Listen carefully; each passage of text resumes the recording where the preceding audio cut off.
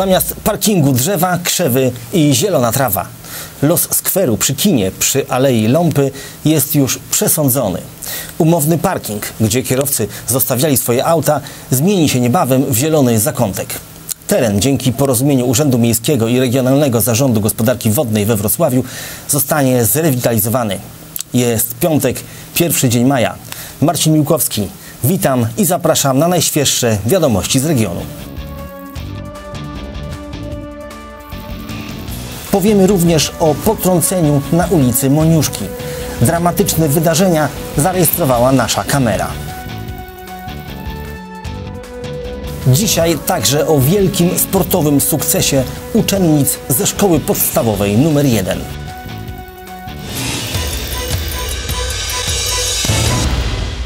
Koniec parkowania na skwerze przy kinie w Nysie. Na teren zielony, dotychczas tylko z nazwy, wjechał już ciężki sprzęt. Plac został ogrodzony i rozpoczęły się tam prace, które, jak zapowiada architekt miejski, mają doprowadzić to miejsce do dawnej świetności. Na skwerze przy kinie przy przejściu przez fosę miejską prowadzącym do Karolinum od dawna parkowały samochody. Najpierw w ramach parkingu strefy parkowania, która jak się potem okazało była samowolą właściciela kina. Potem po usunięciu parkomatu kierowcy zatrzymywali się tam z przyzwyczajenia. Władze gminy zdecydowały, że z tym fantem coś trzeba zrobić. Od 2010 roku, mm, odkąd obowiązowo- obow- zaczął obowiązywać miejscowy plan zagospodarowania przestrzennego, mm, e, ten teren jest te, terenem zielonym, w związku z czym nigdy tutaj nie było mm, e, możliwości, aby e, był zrealizowany teren utwardzony pod parking, w związku z czym przywracamy go do e, dawnej świetności i przywracamy tutaj zieleń. Na placu zaroić się ma więc od drzew i krzewów, ponadto ma on być obsiany świeżą trawą. Możliwość rewitalizacji nadarzyła się niespodziewanie i znienacka, bo przy okazji remontu tamy na Jeziorze Nyskim. Regionalny Zarząd Gospodarki Wodnej, wykonując remont koryta rzeki i zapory,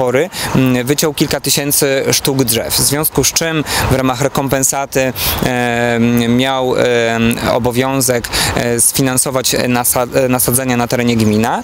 I jednym z takich pomysłów e, jest to, aby na terenie plant miejskich takie nasadzenia powstały. Takich nasadzeń, jak zapowiada Piotr Stachura z Wrocławskiego Regionalnego Zarządu Gospodarki Wodnej, będzie kilka tysięcy. W sumie w ramach projektu przewidujemy nasadzenia około 7 tysięcy e, nowych drzew i krzewów. E, Z tym, że mówimy tutaj o nasadzeniach nie tylko na terenie Nysy, ale także w okolicznych miejscowościach, e, tych, które okalają zbiornik Nyski. Mam tu na myśli m.in. Domaszkowice, Goświnowice, wieś Konradowa, Koperniki, także Regulice, Niezwińskie, e, Siestrzychowice. Także tych miejscowości jest naprawdę sporo. Przedstawiciel RZGW dodaje, że wszystkie nasadzenia były konsultowane z lokalnymi władzami i sołtysami poszczególnych wiosek oraz dendrologami, którzy podpowiadali, jakie drzewa i krzewy nadają się w konkretne miejsca. po takich konsultacjach właśnie z dendrologami, ze spe- spe- specjalistami mm, branży środowiskowej, e, władze poszczególnych wsi zostały e, odpowiednio przeszkolone i, i, i również zaakceptowały te lokalizacje, które e, zostały w tym projekcie wskazane. Jednym z miejsc objętych nasadzeniami będzie również skwer przy kinie. Ta inwestycja zostanie zrealizowana wraz z rewitalizacją przejścia z Alei Ląpy do Karolinum. To będzie nawiązanie do przejścia, które historycznie było powiązane z Karoliną, tutaj z tyłu do, na boisko. I to e, przejście piesze pozostanie. Będą tutaj wprowadzone na, nowe nasadzenia w postaci żywopłotów, e, obsiany trawą, nowa zieleń i sukcesywnie będą dosadzone gatunki drzew. Jak podkreśla architekt miejski, rewitalizacja skweru jest też na rękę i pomyśli właściciela kina przy Alei Ląpy. Ten, choć przed naszą kamerą nie chciał wystąpić, to poza nią potwierdził, że pomysł na rewitalizację mu się podoba. wyraził zadowolenie, że mm, w tej części miasta mm, w końcu e, zapanuje ład i porządek, ponieważ jak sami Państwo możecie ocenić, ten żwir i te kałuże no, nie wyglądają estetycznie, a jak na planty miejskie wpisane do rejestru zabytków wręcz szpecą. Mm, W związku z czym na pewno będzie to zachęcało, żeby mm, dojechać do tego miejsca, zaparkować auto e, w miejscu tego dozwolonym, przespacerować się, bo jakby nie było, są to planty miejskie. I jak podkreślają władze miasta, parking, na którym można zaparkować, znajduje się niedaleko, bo naprzeciwko wejścia na miejski stadion oraz na ulicy Moniuszki. Koszt wszystkich nasadzeń, które będą prowadzone na terenie Nysy i w okolicznych miejscowościach to 260 tysięcy złotych.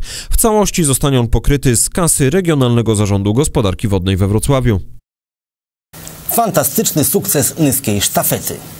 Dziewczęta ze szkoły podstawowej nr 1 zwyciężyły w międzynarodowych zawodach w sztafetowych biegach przełajowych.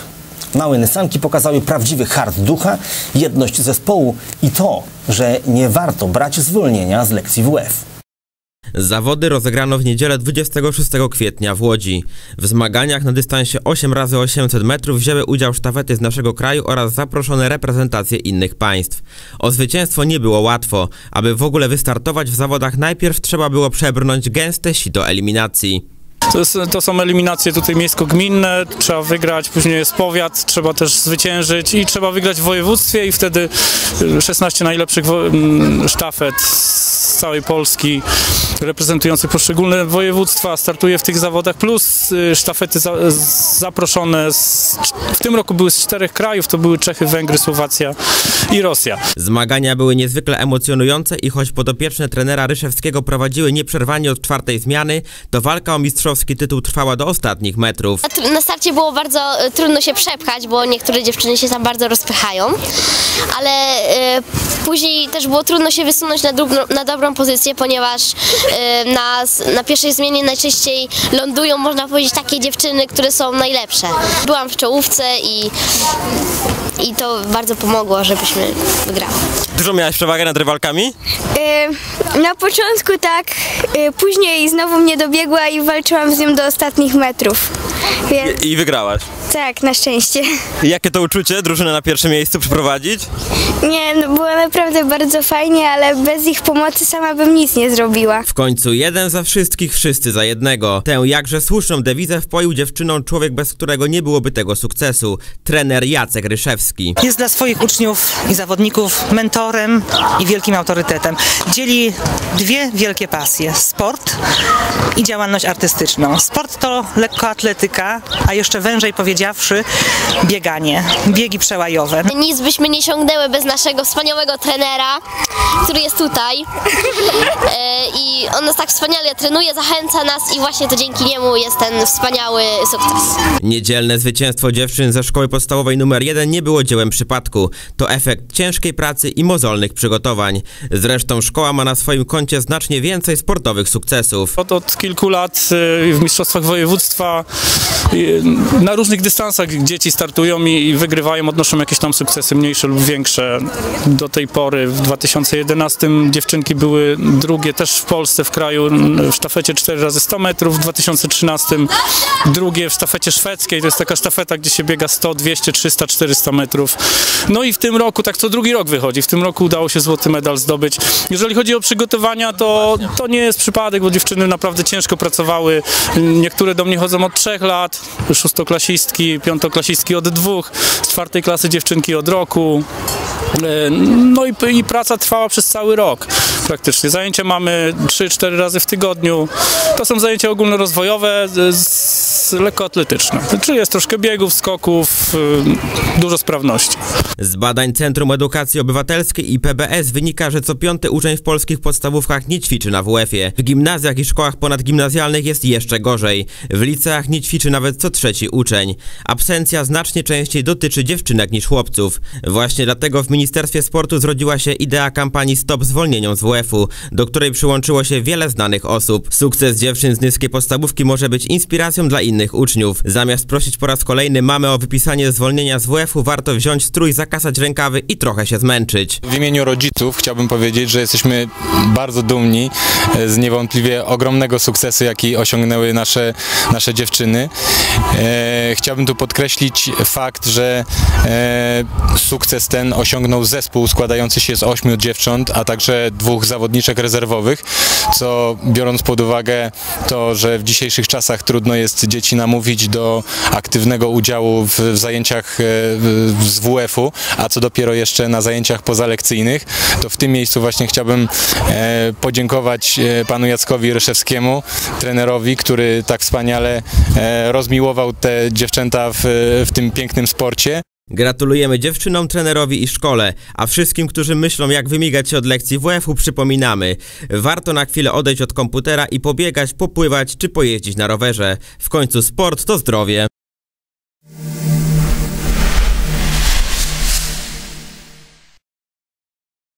Ośrodek Pomocy Społecznej w Nysie zaprasza wszystkich chętnych na prelekcje na temat profilaktyki raka szyjki macicy i programu wczesnego wykrywania raka piersi. Uczestnicy szkolenia będą mieli możliwość zapoznania się z zasadami działania programów profilaktycznych, poszerzenia swojej wiedzy na temat raka szyjki macicy i raka piersi, wezmą też udział w warsztatach nauki samobadania piersi. Spotkanie będzie miało miejsce w siedzibie Ośrodka Pomocy Społecznej w Nysie przy ulicy Komisji Edukacji Narodowej 5 maja o godzinie 10 w sali konferencyjnej. Prelekcja potrwa około godziny. Działania Ośrodka Pomocy Społecznej podyktowane są bardzo niskim wskaźnikiem liczby kobiet w wieku 25-59 lat wykonujących regularne bezpłatne badania cytologiczne w województwie opolskim. Wielokilometrowy korek sparaliżował w środowe popołudnie Nysę. Kierowcy stali w długim ogonku wzdłuż głównych dróg tranzytowych przecinających Nysę. Powrót z pracy do domu wielu zajął ponad godzinę, a autobusy MZK miały co najmniej kilkudziesięciominutowe spóźnienia. Ci, którzy wczoraj po Nysie poruszali się na czterech kółkach, mieli po prostu pecha, bo na drodze krajowej 46 nałożyły się na siebie trzy wydarzenia. Przez to zakorkowała się cała Nysa, a przejazd od Grodkowskiej w stronę Otmuchowa był koszmarem. Drogowcy, mimo że na polecenie Generalnej Dyrekcji Dróg Krajowych i Autostrad nie mogą prowadzić prac w godzinach szczytu, wczoraj musieli na ulicy Ujejskiego dokonać pilnej naprawy podmytej jezdni naprzeciwko salonu samochodowego i supermarketu. I z tej przyczyny fragment drogi na jezdni w stronę Otmuchowa był wyłączony z ruchu. Ponadto kilkaset metrów dalej, u zbiegu Chełmońskiego i Otmuchowskiej kolejna ekipa naprawiała awarię wodociągową. Jakby tego było mało, na 46 na wysokości Głębinowa w godzinach szczytu doszło do wypadku z udziałem ciężarówki i samochodu osobowego. Ranne w nim zostały trzy osoby, a usuwanie i zabezpieczanie rozbitych pojazdów zajęło strażakom i policji niemal dwie godziny.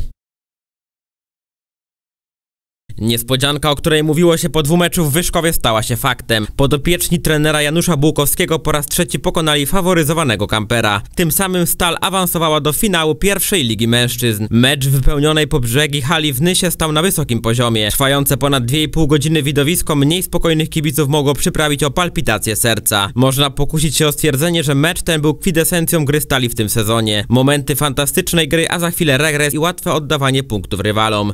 Pierwszego seta Stal wygrała 25 do 23. W drugim wynik był identyczny, tyle że na korzyść gości. Trzecia partia znów padła łupem naszych siatkarzy i kiedy wydawało się, że Stal łapie odpowiedni rytm, w grze naszej drużyny nastąpił przestój. Stąd łatwa wygrana Kampera w czwartym secie do 18. O wyniku meczu decydował więc tiebreak. W piątej partii Stal szybko wyszła na kilkupunktowe prowadzenie. Nysanie prowadzili nawet 8 do 3, później pozwolili rywalom odrobić kilka punktów, ale w końcówce zachowali więcej zimnej krwi i zwyciężyli w tiebreaku do 11, meczu 3 do 2 i całej półfinałowej rywalizacji nadspodziewanie łatwo 3 do 0. Teraz Stal może już szykować się do finałowej batalii. Rywalem nyskich siatkarzy będzie lepszy z pary Ślepsk Suwałki Wiktoria Wałbrzych.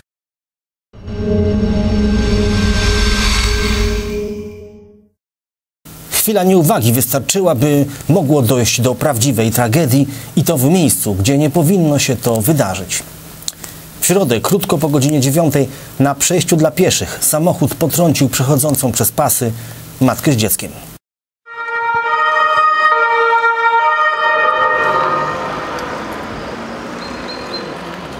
Do zdarzenia na ulicy Moniuszki doszło praktycznie pod okiem naszej kamery, kiedy nagrywaliśmy materiał dotyczący rewitalizacji skweru przy Alei Ląpy. Całkowite koszty ponosi Regionalny Zarząd Gospodarki Wodnej, e, a e, wypadek, sorry.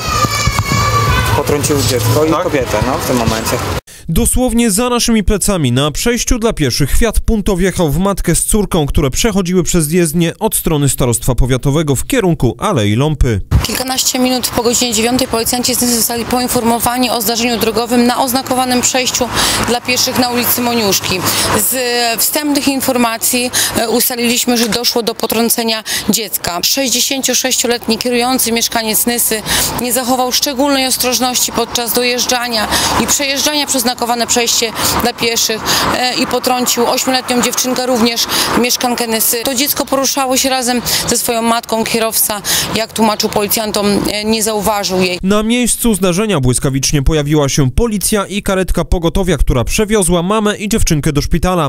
Obie najadły się sporo strachu, ale jak udało nam się ustalić, na szczęście kobieta i jej córka nie odniosły żadnych obrażeń. W związku z tym kierowca, który spowodował kolizję, odpowie za wykroczenie drogowe. Czeka go najprawdopodobniej najprawdopodobniej surowa kara, bo rażąco naruszył przepisy ruchu drogowego, mówi sierżant sztabowy Katarzyna Janas. Będą prowadzone czynności, które zakończą się skierowaniem wniosku o ukaranie tego kierującego. Jest to wykroczenie, które ma bardzo duży wpływ na bezpieczeństwo w ruchu drogowym. Apelujemy każdego dnia o to, aby nie wyprzedać na przejściu, aby zachować szczególną ostrożność. Jednak jak widać nie do wszystkich te apele e, trafiają i dlatego tutaj policjanci e, m, zadecydowali, że sprawa zostanie skierowana do sądu, a mężczyzna nie zostanie ukarany mandatem karnym. Kierowca odpowie z artykułu 86 kodeksu wykroczeń. W związku z tym sprawcy grozi kara nawet do 5 tysięcy złotych.